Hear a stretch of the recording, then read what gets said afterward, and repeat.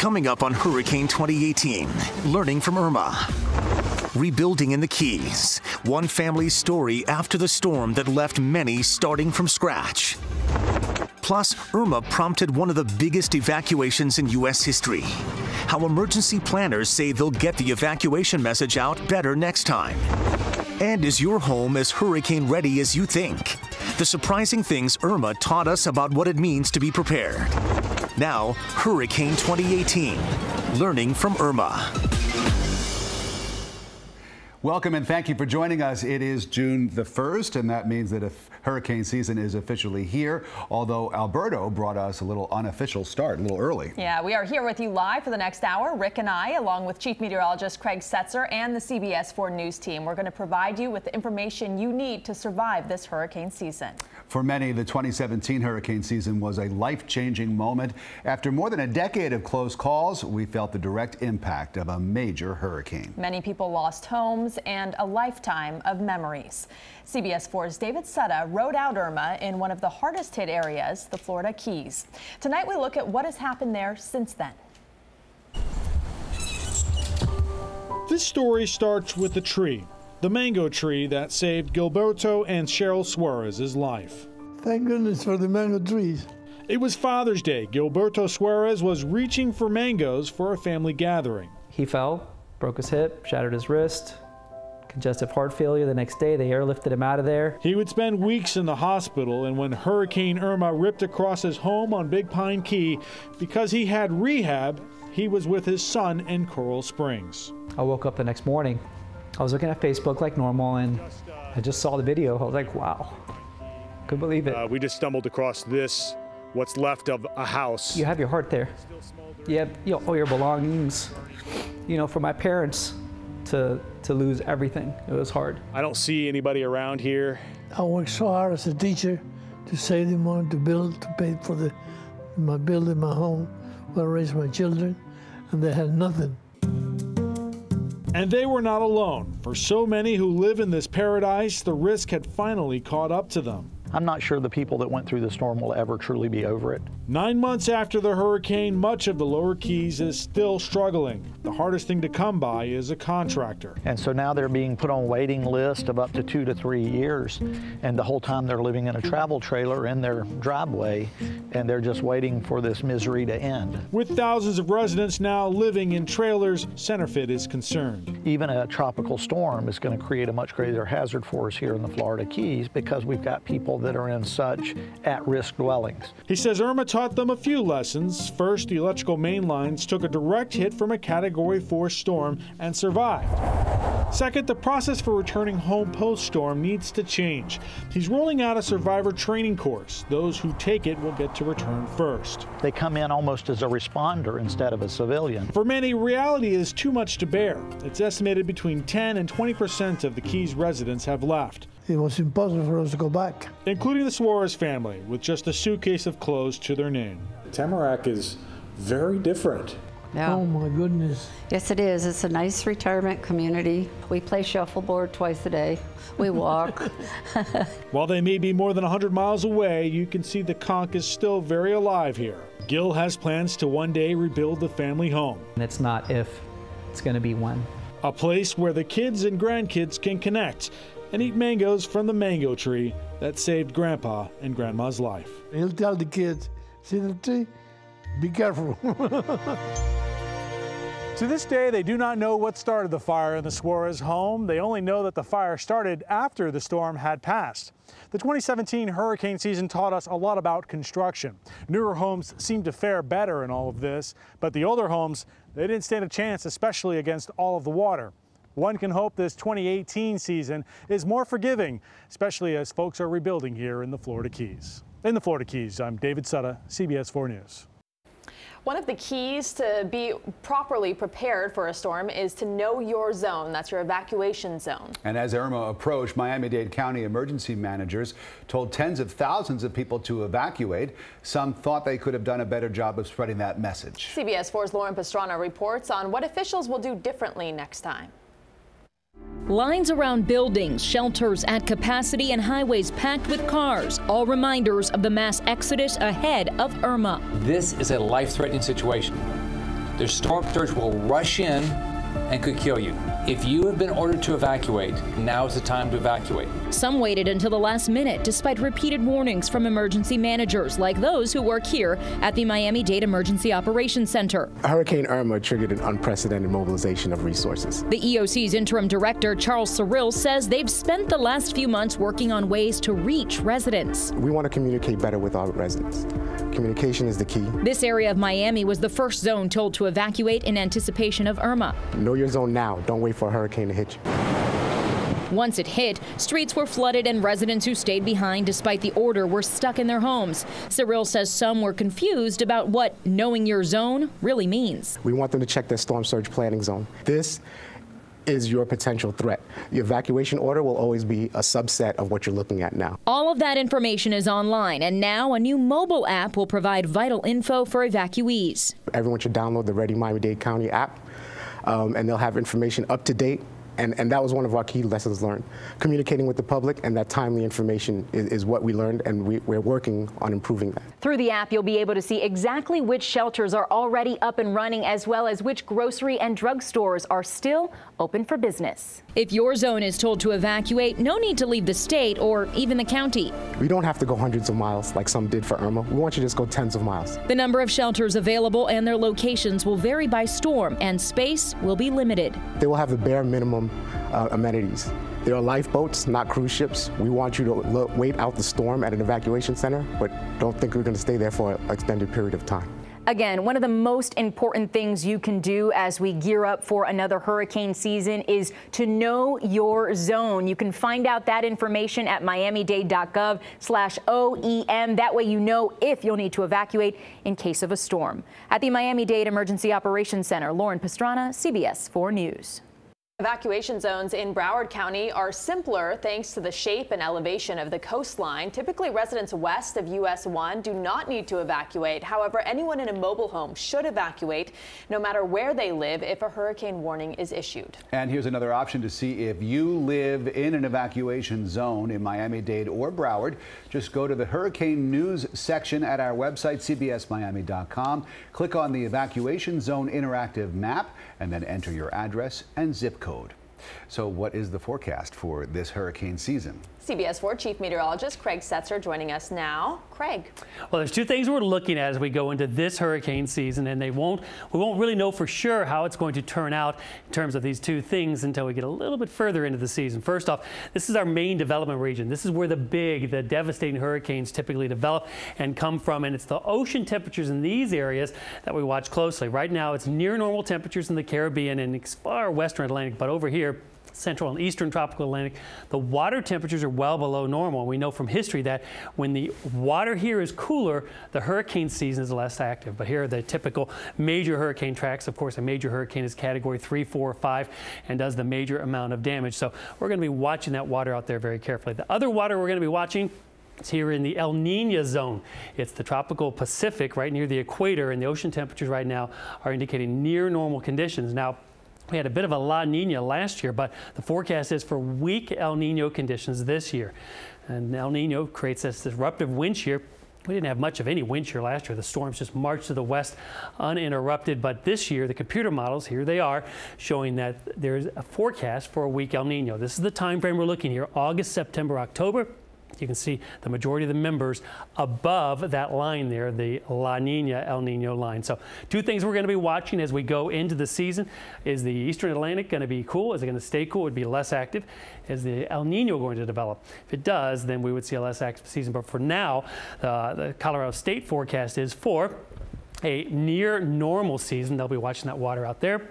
Also, the state of El Nino, they're calling for 14 named storms, six hurricanes, two major, we normally have 12 named storms, seven hurricanes, and two major hurricanes. That's a normal season. Okay, so only the first day of hurricane season. What are the factors that could change the outlook of this so season? So the things we'll be watching will be that El Nino, and we won't know that until later in the year. In fact, here's what uh, the graph shows. That's our typical hurricane season. By July, that's when we have our highest forecast skill for the hurricane season. That's when we better know the state of the El Nino or in some cases a La Nina.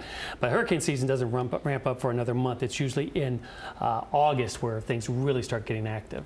Now, some people like to take a look at seasonal cycles, uh, like the one that apparently began back in 1995. It was forecast to last for about 20 to 25 years, a more active cycle than what we had seen before that. So, do you think that we might be approaching anytime soon a less active cycle? Well, it's possible. Now, here's a look back at some of the hurricane cycles. This is from 1900 to 1950, and we had a ton of major hurricanes go through South Florida, especially in the 20s, 30s, and 40s. But then after that, we went through a period where there was less active, less activity, and then there's been a little bit of an uptick recently. It's kind of one of those things where you don't really know until you're in it. Mm -hmm. But it looks like this year, maybe, hopefully, we'll have a less active season. Well, I hope to understand more when you see the graphics like that. Yeah. So thank you, Craig. Yep. Thanks, Craig. And another invaluable source of important information, particularly during hurricane season, is the CBS Miami weather app. There you can find local conditions such as wind, cloud cover, hourly forecasts, and the radar app, which allows you to zoom in and see where activity is and where it's headed. Well, preparation, as you've heard, is key, and no one knows that better than South Florida's emergency responders. And that is why each year before the season starts, the Miami-Dade EOC holds its annual hurricane drill. CBS 4 meteorologist Dave Warren was there. It looks like the real thing. A potentially catastrophic storm approaching the area while over 70 local and state agencies work to prepare for the storm. Not to worry today, however, this is just a drill. The Miami Dade Emergency Operations Center created this situation to work through the problems that may come with it. We always tweak our processes, and every time we find new challenges, and we try to work through those. So there's never a perfect storm, there's never a perfect plan, and so we try to work through these these issues to make our plans better. Trying to make it as real as possible, they have controllers who inject certain scenarios into the drill. Observers analyze how that scenario is handled and if it could be done better. It may seem hard to think about preparing for the next storm, with some areas having not recovered from Irma last season. Isa Mendez is with FEMA. A guest at the drill says you need to be doing exactly that. The more prepared we are, and the more we plan things ahead of time, it's going to be a lot better for us to face any eventual emergency that may happen. And making sure everyone is prepared for the next emergency, well, that's the key message. From emergency services down to the individual. The time to prepare is now when we have blue skies, no threat, no warning, and uh, that's, that's the biggest message to everybody. Well, every storm is different and there is no perfect scenario. The hope is that from lessons learned from past storms and drills like this, they can perfect their response to every situation before, during, and after a storm. In Miami, I'm Dave Warren for CBS 4 News. Still ahead on Hurricane 2018, learning from Irma. Home storm preps. Which ones work and which ones don't? What we found after Irma was surprising, especially if you have hurricane impact windows. It's the defining tragedy of Irma, the deaths of so many at a Hollywood nursing home. Could it happen again? And the only lifeline for many in the Keys during Irma was a battery powered radio. We'll look at the vital role stations like US 1 Radio play in a storm.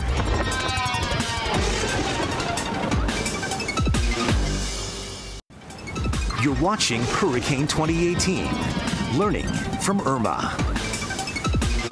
Everywhere you live, somewhere there's something. There's an Irma for everybody somewhere in their life. So, not really. Um, just preparing a little bit better for it this time.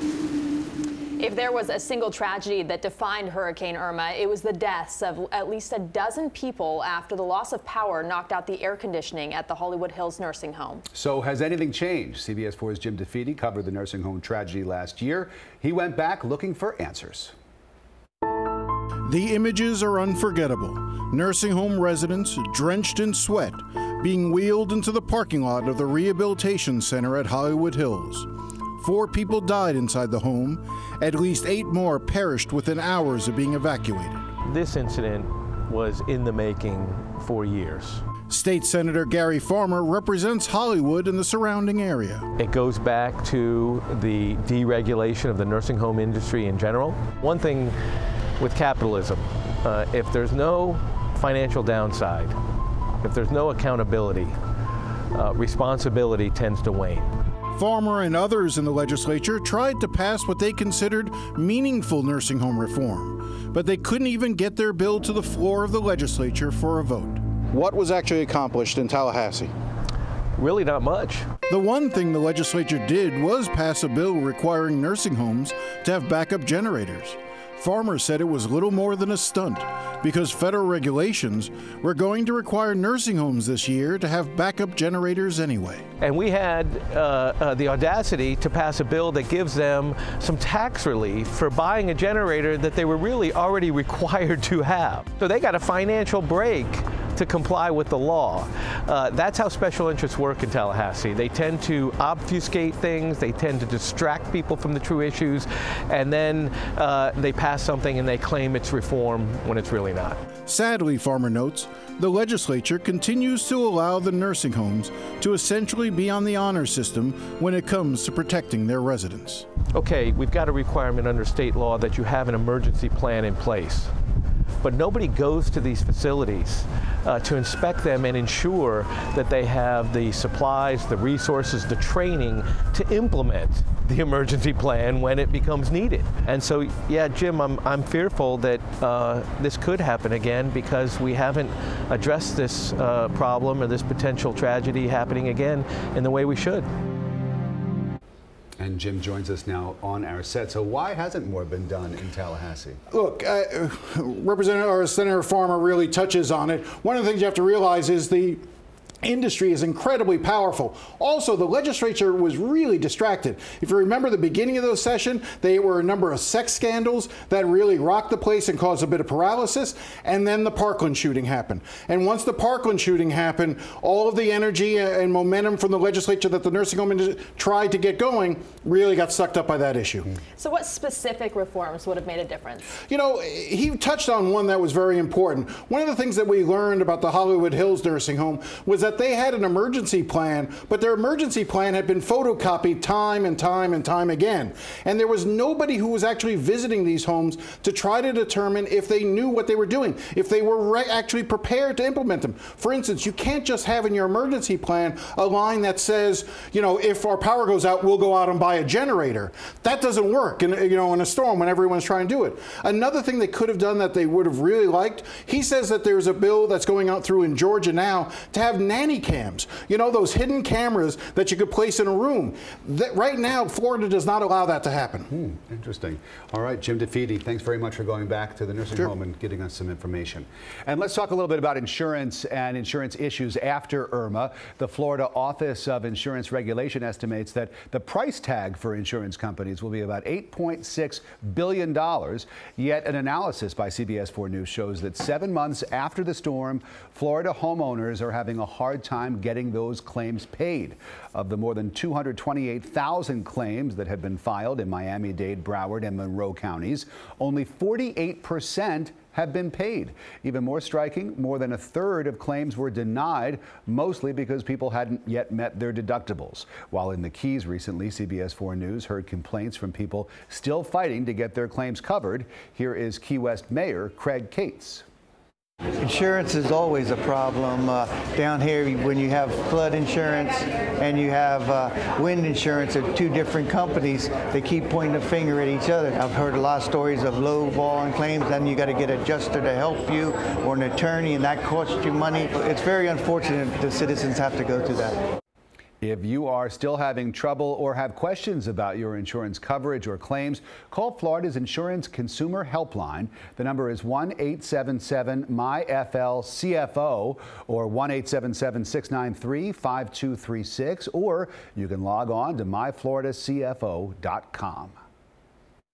I'm CBS 4 meteorologist Lisette Gonzalez. If you have to evacuate, you may need to make arrangements for your pets. Try to take your animal with you. Do not leave them alone at home. If you're heading to a pet-friendly shelter, your pets must be pre-registered. Also, make sure your pet's collar has an ID tag, that they have been microchipped, and that all of their prescriptions have been filled. And if you will need evacuation assistance or require specialized transportation to evacuate, you must also pre-register for that Visit cbsmiami.com for a link to the forms that you have to fill out or call 311 for more information. Still ahead on Hurricane 2018, learning from Irma. Are you unsure how to prep your boat when a storm threatens? Craig is taking to the water with the do's and don'ts you need to know. Riding out the storm. On the radio, one station was there for people in the Keys during Irma. You'll meet the man behind the microphone. And when Hurricane Maria devastated Puerto Rico, South Florida became a refuge for survivors. We'll have one family's emotional story.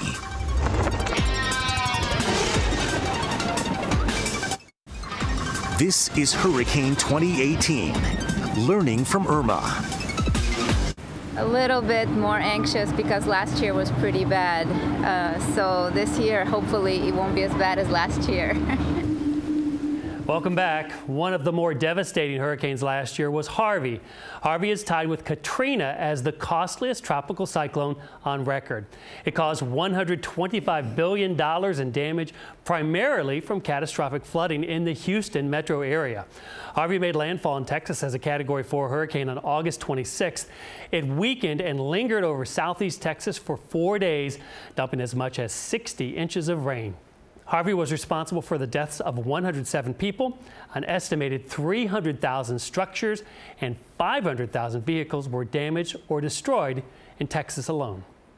Across the Caribbean, recovery is still underway from the 2017 hurricane season. Before making landfall in Florida, Irma bashed Cuba as a Category 5, packing 160 mile an hour winds. Havana's famous seawall was swamped by the monster storm, and water was pushed nearly a third of a mile inland, flooding, even destroying some neighborhoods.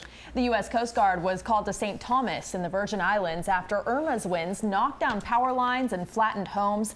Residents were forced to stand in line for hours to get water and gasoline. On St. Martin, 5,000 U.S. citizens were stranded for a time. Americans were told to show up at the airport with only a passport and a small carry-on bag. With power issues and no running water, evacuees waited for days to leave. Let's talk about Hurricane Maria on the heels of Irma. As you remember, Maria was a one-two punch for much of the Caribbean. This was the view from above Dominica, which revealed widespread destruction. Maria slamming the tiny island as a Category 5 hurricane with 175 mile an hour winds. It's regarded as Dominica's worst natural disaster on record. And Maria holds the same distinction for the island of Puerto Rico. The U.S. Commonwealth's long recovery is ongoing. Many Puerto Ricans were forced to leave home for good, and many of them ended up here in Florida.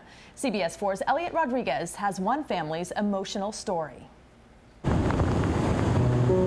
Hurricane Maria was a Category 4 storm when it made landfall in Puerto Rico last September, plunging the island into a humanitarian crisis. And then we went outside, and it was, I mean, devastation. It was like a bomb was, you know, there. When the storm hit, Vivian Rivera was in the town of Comerio in the mountainous central part of the island.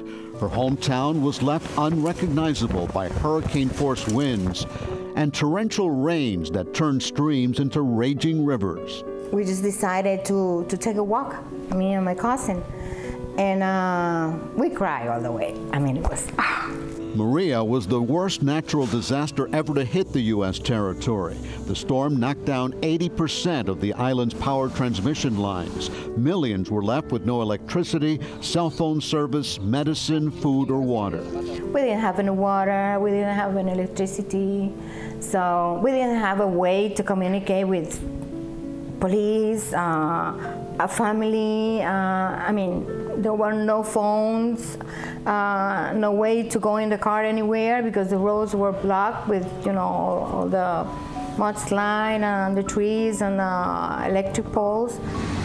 Getting aid to the island proved challenging, but getting the aid out of the capital of San Juan was an almost insurmountable obstacle, leaving Puerto Ricans out of touch with the rest of the world and feeling hopeless and forgotten. It was really scary. It was like we were in another place, you know, like isolated. Maria forced thousands of Puerto Ricans to leave for places like Florida. Vivian lives in Hollywood, but her 89 year old mother, Rosa, remains in Puerto Rico, as do other family members who are still dealing with power outages and water shortages. Some days they get up in the morning and they don't have electricity, so the whole day without without electricity, they you know lose the groceries and stuff, and uh, then the next day they they do have electricity or they don't have water. So it's like a day by day thing, you know. Vivian shudders to think what a new hurricane season will bring to Puerto Rico. If another hurricane comes, I mean, it's going to be gone again. All these months after Hurricane Maria hit Puerto Rico, the death toll remains a mystery.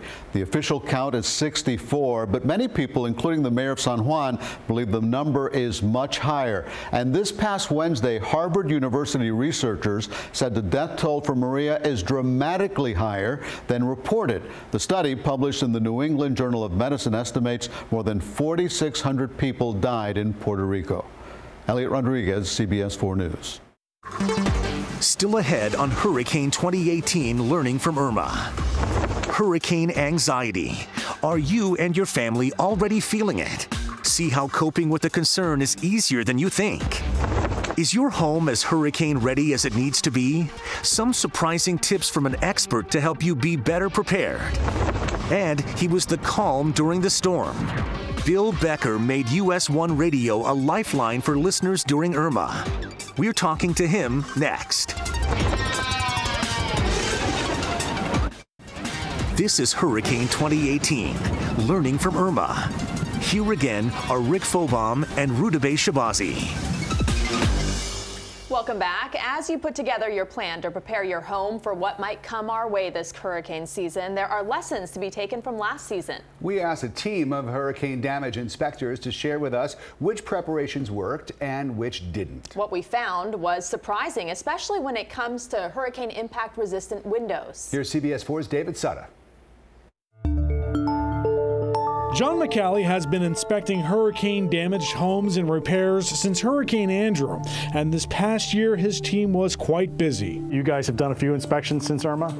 Uh, about 400, yeah. yeah, a couple. What have you seen coming out of those reports? Wow, it's been over 10 years since we've had really a major major storm hit us here, and, and what we found is that the, you know, the upgrades to the building code and the, and, and the changes we've made to the way we build actually have really, really helped. That is the good news. For those who did have damage, McCallie says much of it was preventable. We asked him to show us what he meant by that. A tree will, will do a lot of damage. If a tree could touch a roof, I've literally seen where a tree will rub through a shingle roof over a period of hours, just constantly rubbing. McCallie recommends you trim the trees now. It'll not only keep the limbs off your roof, the tree may be able to withstand the storm. This particular home suffered over 200 damaged tiles. The fix for this? Get your roof inspected. Most roofers will do this for free in hopes if you do need a repair, you'll hire them. What's happened is the mortar dries out over time, over you know heating and cooling every day, and it loses its adhesiveness and its ability to withstand. So normally a roof that could withstand 100 miles an hour, 80 miles an hour may fail at 60. Another item he saw post Irma was water. 100 mile an hour wind driven horizontally for hours on end came through this garage flooded this garage, damaged stuff. You know, people put stuff in the garage thinking, put it in the garage, it's all safe, it's fine.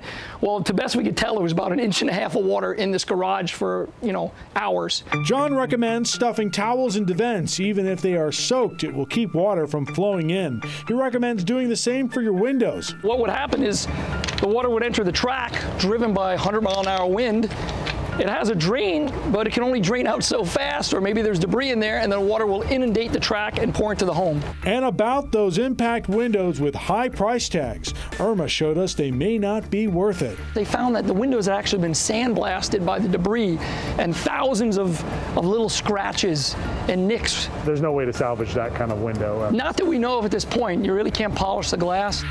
Lastly, John recommends checking the seals on all your doors, windows, and sliding door tracks. A majority of their post Irma inspections dealt with situations where water got into homes and created chaos. Uh, mold needs two things. It needs moisture and food. The food is always here. You probably couldn't make a better food than drywall for mold.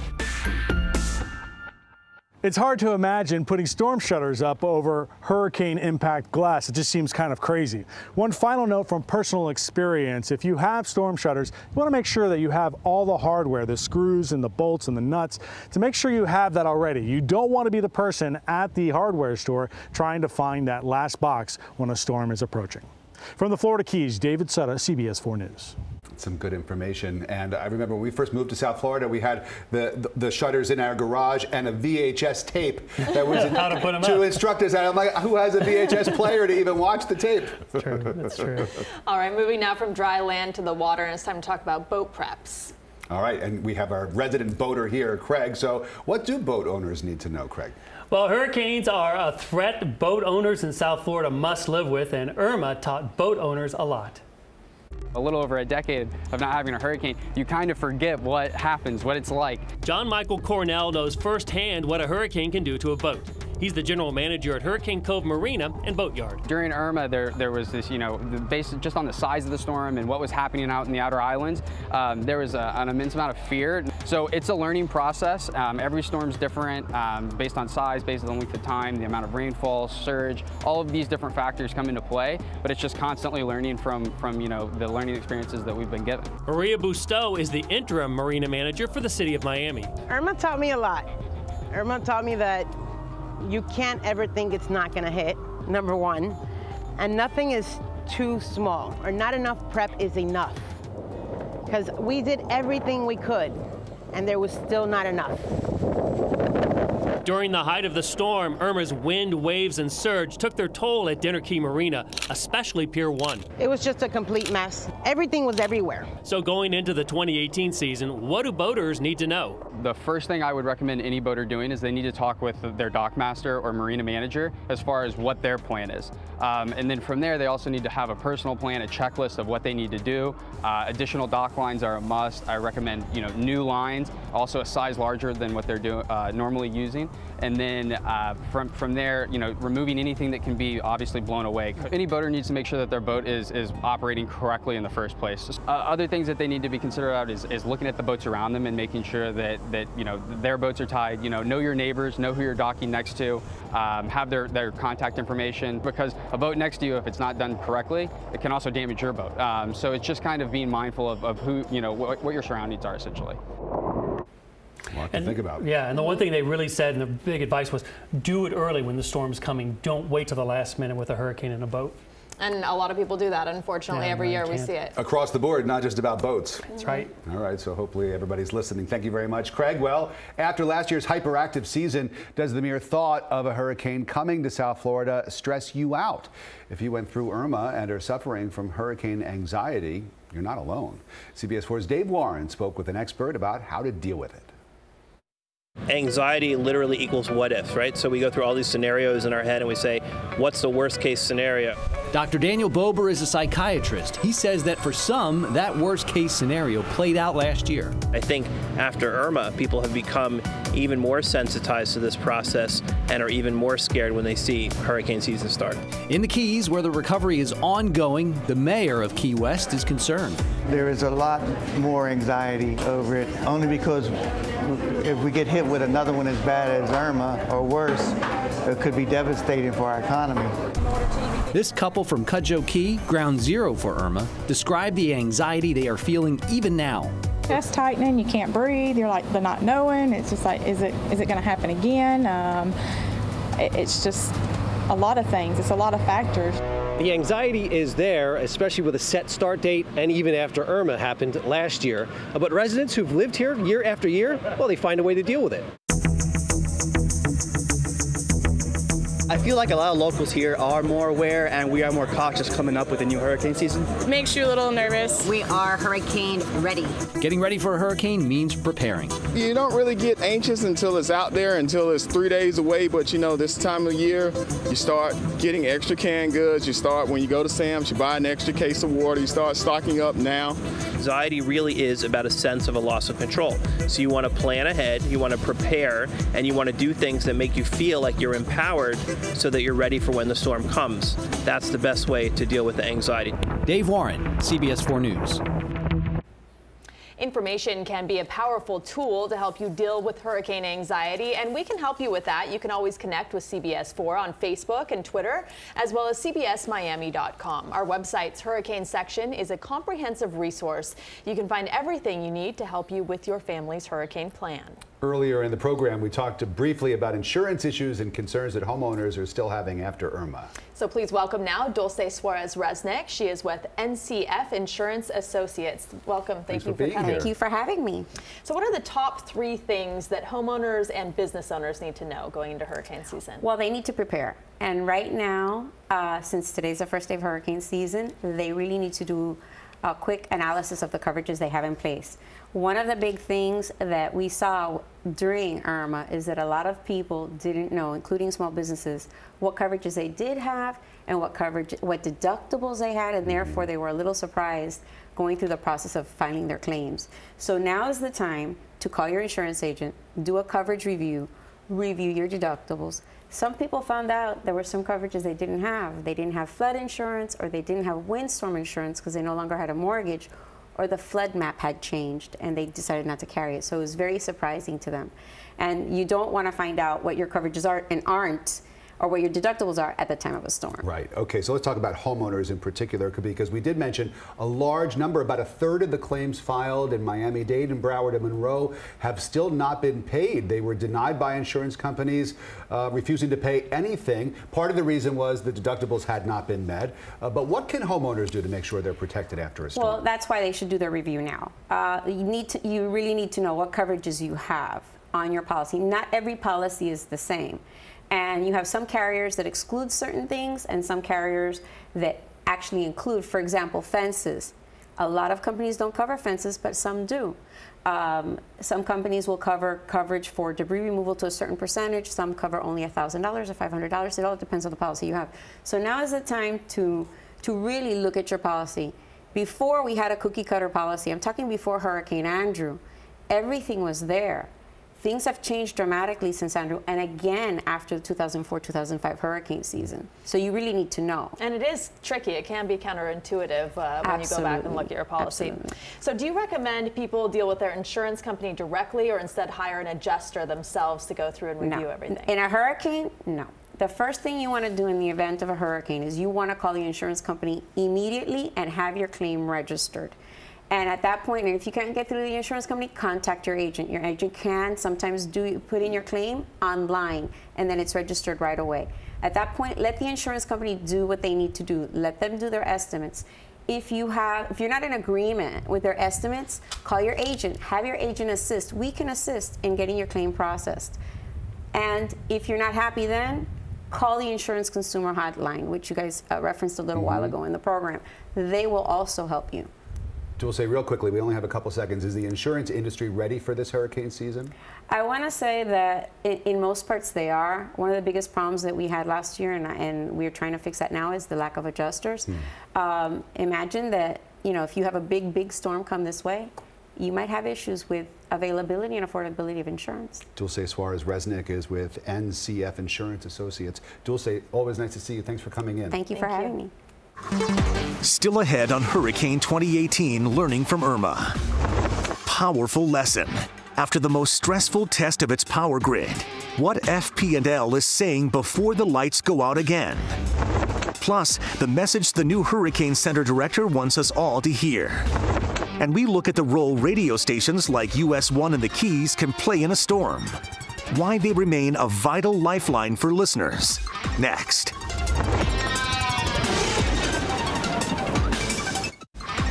Welcome back to Hurricane 2018, Learning from Irma. And when the leading edge of Hurricane Irma struck the Florida Keys, it almost immediately knocked out power, leaving residents in the Keys without access to information from the internet or television. But as CBS 4's Jim DeFede reports, thanks to a man behind a microphone at a radio station, they were not alone. It is uh, 1.33 in the morning on a Sunday morning here. Bill Becker and Ron Saunders uh, Coming to you live from our studios on Upper Sugarloaf Key. The only way people knew they weren't alone was the sound of Bill Becker's voice on US 1 Radio. Reporting live here from our studios. Providing them a calm but candid assessment of what they should expect as the worst of the winds approached. That's the stark reality of what we're facing here right now. People who had battery powered radios said they, they slept with their radio. They hunkered down with their radio to listen to us, to, to just hear somebody in the darkness. This was the only means of communication for everybody. We were basically back to the stone ages of communications. There was nothing else except this radio station. It was pretty incredible. Becker shot this video from the station's window during the storm. And in the morning, when the eye of the hurricane passed right over the radio station, well, here we are, the eye of the storm. The Becker took a quick break to go outside and see for himself. Boy, this is amazing. We have incredible destruction all around here, but we're still looking at the backside of the uh, storm coming at us. So we'll do our best to stay on the air here in US 1 Radio. 40 minutes in the eye of the hurricane. And some people said they thought the storm was over and were going to go out till they heard us tell them this is the eye of the hurricane. Don't go out in it. That warning likely saved lives. For Becker, who has been the news director since 1980, this was the worst storm he has ever encountered. He said he felt a duty to stay on the air because he knew people would be counting on him. And that was even more the case once the storm cleared. We're here in the studio. If you want to come by, tell us your story, tell us your need. We had people lining up at our outside our studio here to get on the air with us to relay messages to their loved ones, find out where people were, find out what services were available. My name is Sean. Uh, we rode out the storm in uh, Big Torch there, and uh, water was coming pouring through the windows. I thought the house was going to come off the stilts. Uh, we were praying, and we just thank God that it didn't. Local officials came by as well, providing updates on what was happening. And when the station's generator ran low on gas, Becker put out a distress call for help. We had people siphoning the gasoline from their boats so they could keep us on the air. Becker said he is proud of what the station accomplished. I feel like we did something really special here, being able to stay on the air. And uh, we're going to do it. We're going to harden our system here. We're going to do the best we can to be there next time as well.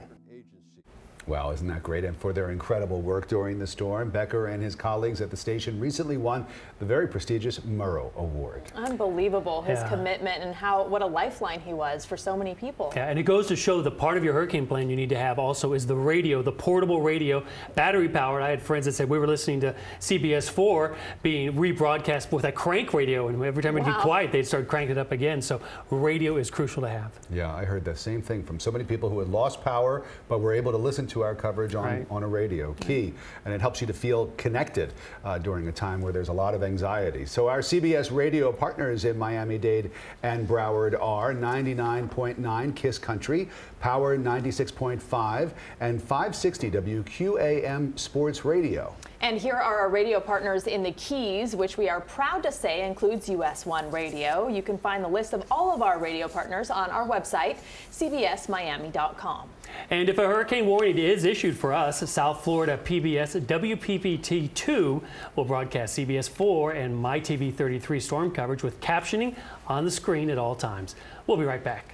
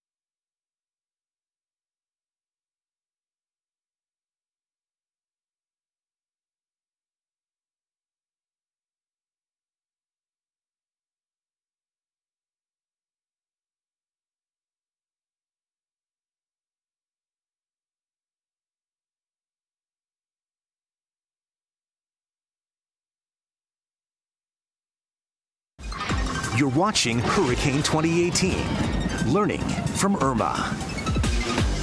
Welcome back. Irma proved to be quite a challenge for Florida Power and Light. In fact, Irma was the most stressful test of the utility's power grid ever. I talked to its CEO, Eric Silagy, about that. We're going to continue to invest in technology. We're going to continue to harden the system. We're going to continue to underground where we can. And we're going to continue to aggressively manage on trees and growth. Many remember the fallout from the power disruption after Irma, but FPL says they did the best they could given the size and strength of the storm. During Irma, we had 4.4 million customers. 9 million FPLers were knocked out of power. As FPLers, customers served by FPL. We had half of all customers restored in 24 hours. But you know what? You can learn from every storm, and we're going to get better at it. So, what about the next time a hurricane hits here? There are no guarantees, and anybody who tells you there's a guarantee is not telling you the truth on this. The guarantee is, is that there will be power interruptions for some people during a major hurricane. That I can guarantee you. I'm CBS 4 meteorologist Lissette Gonzalez. If the power goes out, a portable home generator after a hurricane can be invaluable, but it can also be dangerous. And here's what you need to know if you have to use one. Run your generator at least 10 feet from your home. Never use it in an enclosed patio, garage, or under an eave, and use recommended extension cords. Store the gasoline for it safely, use a fuel stabilizer, and have a working carbon monoxide detector. If you have a generator, now would be a good time to check and make sure it works. For more information, go to our website, cbsmiami.com. Nice. Good advice there because the generators can be lifesavers, but they can also be dangerous. Well, the National Hurricane Center has a brand new director. Ken Graham has only been on the job since April 1st. Prior to that, he led the National Weather Service's New Orleans area forecast office. I had a chance to sit down with Ken Graham. Here's his takeaway from Irma, and it's a good message for all of us. There's always the, the hurricane that becomes your benchmark. And I, I think we got to be careful with that. I think we need to really be able to understand not to compare the previous hurricane to the next because they're all completely different. So just because something didn't happen to you with, with Irma doesn't mean it couldn't happen next time. Or if you got some big impacts, it may not happen next time. Hmm. Now, what is his role, uh, Mr. Graham? So he is now the director of the National Hurricane Center. We had Ed Rappaport, the acting director, through the busy hurricane season last year. So Ken is now the official director of the National Hurricane Center. Which means, practically speaking, as a storm is coming, we'll see his face a lot, and we don't want to see his face a lot. yeah, kind of gives me anxiety. I have to admit, just seeing those yeah. pictures there. Seems like a very nice guy. He's a very yes. nice guy. So as we go to break, uh, here is the list of this season's storm names. And we'll be right back.